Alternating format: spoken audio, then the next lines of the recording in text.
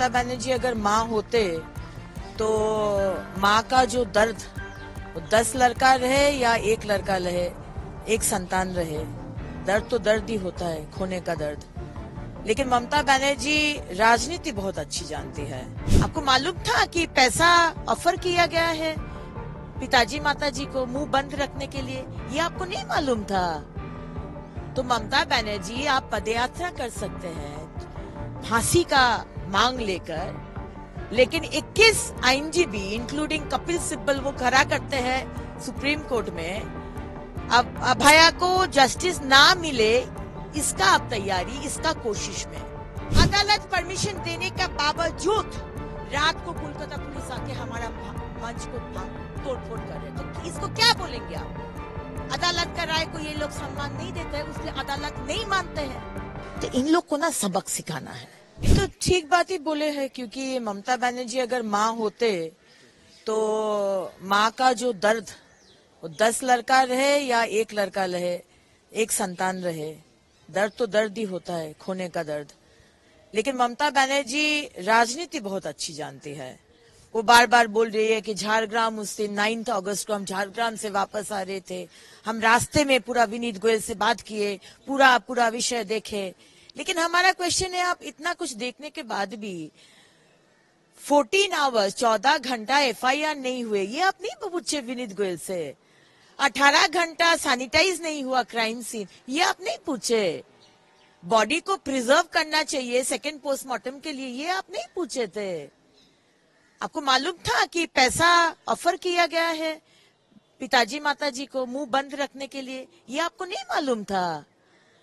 तो ममता बनर्जी, आप पदयात्रा कर सकते हैं, फांसी का मांग लेकर।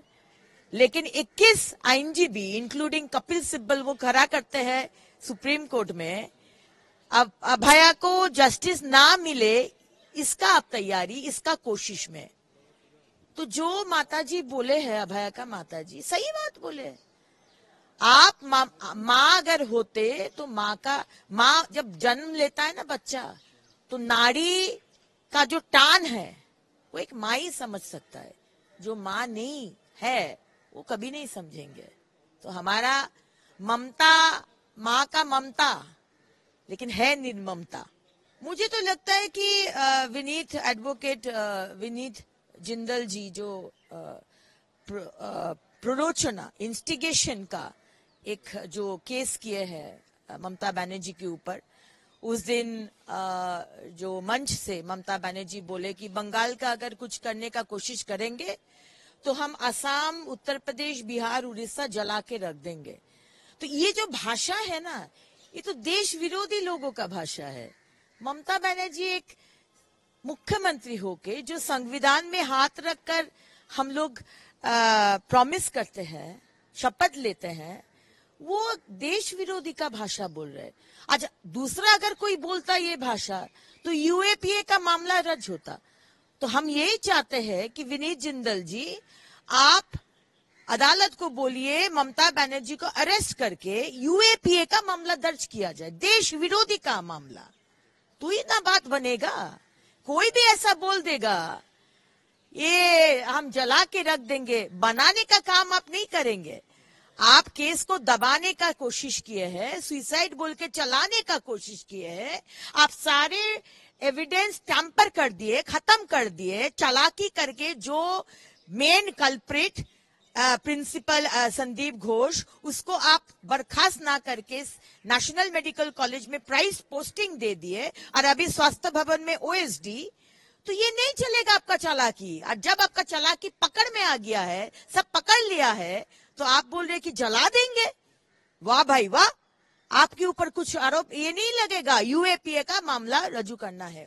अधीर रंजन बाबू बोल रहे मामला भटकाने का कोशिश किए हैं।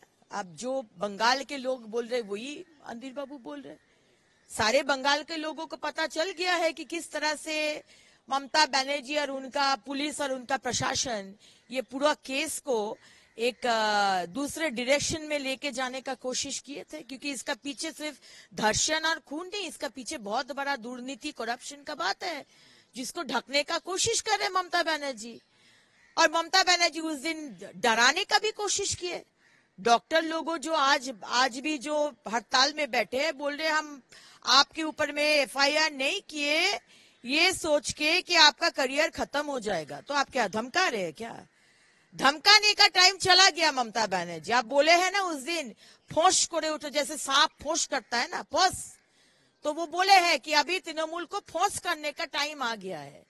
ये फोर्स को इस्तेमाल करके ममता बनर्जी, आप वोट लूट किए हैं, आप जगह जगह में संतरास किए हैं, महिला के ऊपर अत्याचार किए हैं, ये फोर्स का ज़रिए से। अभी पब्लिक फोर्स करेगा आपको, आप वेट करिए। आप देखते रहिए, पब्लिक कैसे फोर्स करता है। देखिए ये अदालत में सबजुडिस मैटर है। सबजुडिस मैटर में हम लोग आईनजीबी नहीं है, लेकिन इतना हम लोग का मैंने क्या बोले, दिमाग है कि सबजुडिस मैटर में कमेंट नहीं करना चाहिए। लेकिन आप क्या करें अगर अनपढ़ और जो लोग संविधान को मान्यता नहीं देते हैं जो लोग आ, अदालत का राय को मान्यता नहीं देते हैं वो लोग अगर इस तरह का बात करे जिसमें अदालत बार बार बोल दिया है कि इसमें कोई कमेंट नहीं सुनना है ये अभी सबजुडिस है उसमें भी कमेंट कर रहे तो ये तो हम लोग बार बार ही बोल रहे विरोधी होके। कि ये राज्य में संविधान को मान्यता मुख्यमंत्री नहीं देते क्योंकि उनको यहाँ पर ममता का संविधान चाहिए।